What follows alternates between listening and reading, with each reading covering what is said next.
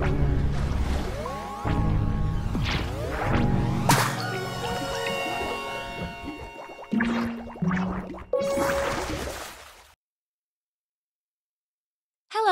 welcome back to Stories Podcast. Today, we're reading The Tooth Fairy and the Dragon. It stars Dentina from our story, The Secret Origins of the Tooth Fairy. If you haven't heard that one yet, you can go back and listen now. And even better, if you want to help us keep making this show and get something great at the same time, you could go to Amazon.com and buy our new illustrated ebook version of The Secret Origins of the Tooth Fairy.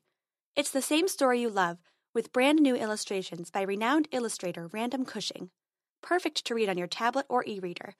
Please help us out and go buy it now. And while you do that, I'll be reading The Tooth Fairy and the Dragon. Enjoy! Once upon a time, a young prince rode his mighty white steed up to the gates of an old castle. It had once been the home of some mighty king, but now it was in ruins. The old stones of its smashed towers littered the ground, and the great wooden doors were burned down to ash. In fact, pretty much everything in the area had been burned down to ash, and all the standing stones had been chewed on repeatedly by something very, very big. All in all, it was a sure sign to the prince that he had finally found it the dragon's lair. He slid off his horse and drew his sword, looking like quite the heroic figure in his gleaming armor and great dog shaped helmet. Dragon! he called into the darkness of the castle's great hall. I know you're here. I've come to slay you. Now come forth and let's be quick about this. I have a princess to save at noon, and I shouldn't be late. He listened to his own voice echo away into the darkness. Dragon! he called again, rapping his blade against an old bit of half melted chain. Come and meet my sword! I have maidens to save, and I won't let you get me off schedule. From the depths of the hall, there came the scaly, slithery hiss of the dragon gliding across the stone floor. He appeared from the darkness, roughly the size of a school bus, his scales the deep purple of a fresh bruise. Here I am, the dread dragon Drogogard, growled the dragon, wisps of hot smoke billowing from his nostrils. Now what is it you are saying? The prince looked up at the great beast and cleared his throat awkwardly. Um, well, it is just, um, I am a prince, and I have, you know, princesses and such. Princesses, hmm? said the dragon, smiling and revealing gleaming rows of sword sharp teeth. And you say you're a prince? You look more like a chicken to me. A chicken? squeaked the prince, whose nerve had quite left him at the sight of the dragon's massive fangs.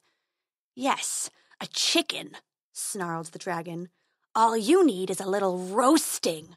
He roared, and he let go a massive wave of flames. The prince turned and ran, feeling the fire roasting his butt through his armor. He hopped on his horse and galloped away, yelling wildly as he went. The dread dragon Drogogard let him go, sighing deeply and settling back into his fitful sleep.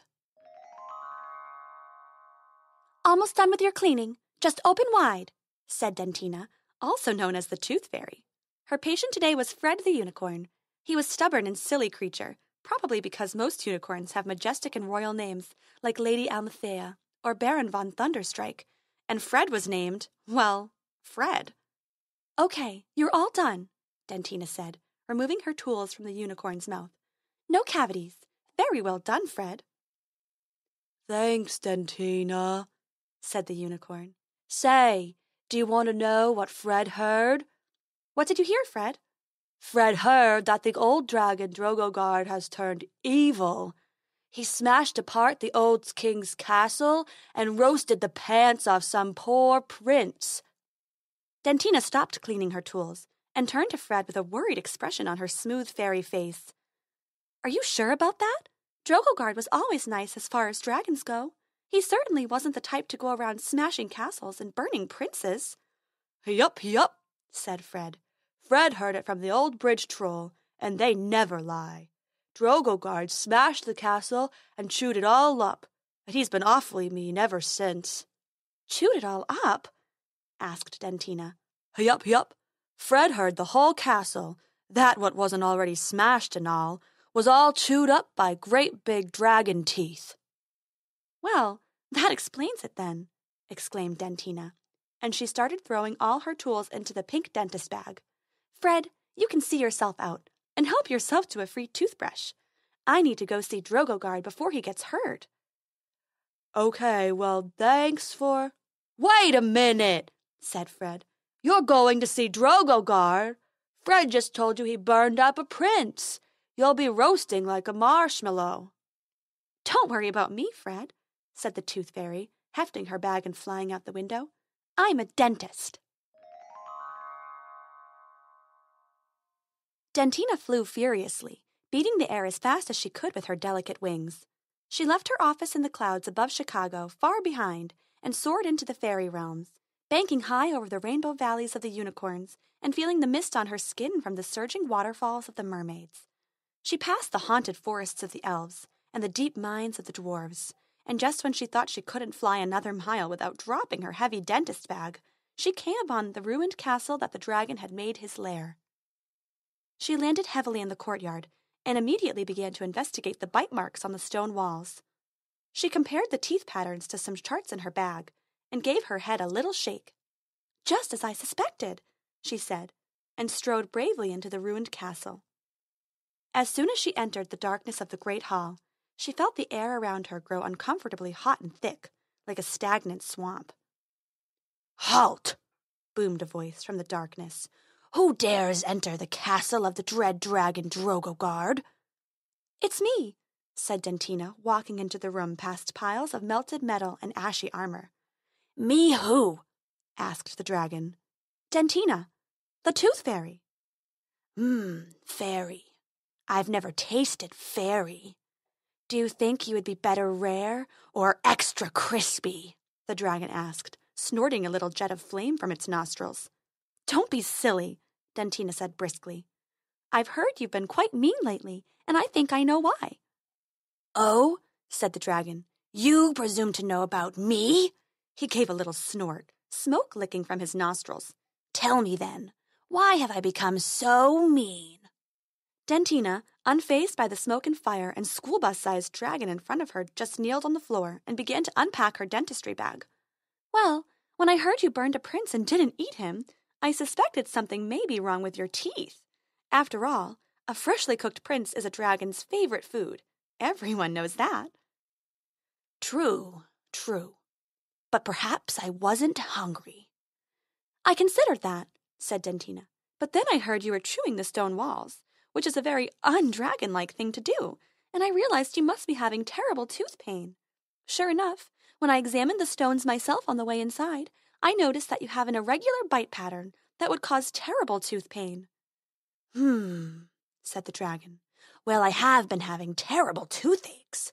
I just assumed it was from eating all those knights with their armor still on. Very well, Dentina the dentist and fairy of teeth. Can you fix me? Of course, said Dentina. You're in luck. I'm the only dragon certified dentist in the whole realm. Now open wide and say ah. The dread dragon Drogogard, scourge of the skies and burner of butts, opened wide and roared, Ah! Dentina leaned into the mouth and tutted to herself. With her dentist gloves on, she reached in between all those jagged teeth and pulled out a sword, a shield, a helmet, and a half dozen wooden lances for jousting. Do you even brush your teeth? Do you even floss? Well, sometimes, said Drogogard, embarrassed. Tell me the truth, or I can't help you. I brush all the time. Dragon? Fine. I've never brushed ever. Well, that just won't do, Dentina said, unrolling her dentist tools on the floor of the old castle. You've gotten all this metal in your teeth, and it's just ruined your bite.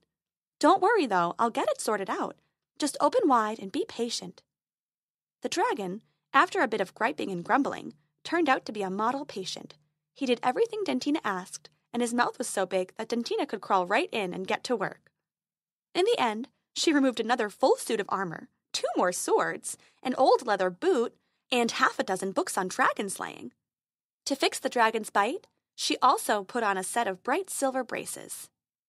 Now you just wear these for a few months or so, and you'll be back to normal, said Dentina, packing up her kit.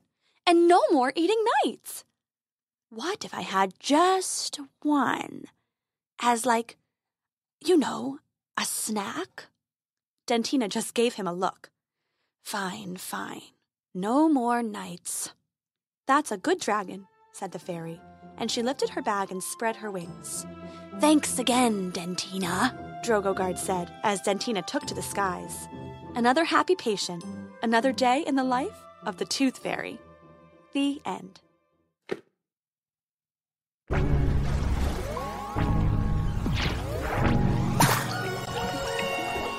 Thanks for listening.